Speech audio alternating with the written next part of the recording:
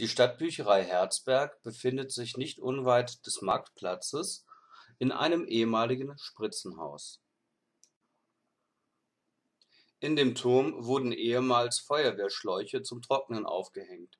In der Bücherei befindet sich ein kleines Fenster, wo man noch heute einige Schläuche dort hängen sehen kann. Die zwei großen Tore am Fuße des Turmes dienten zur Ein und Ausfahrt von Feuerwehrfahrzeugen, dort befindet sich allerdings nicht der Eingang zur Stadtbücherei.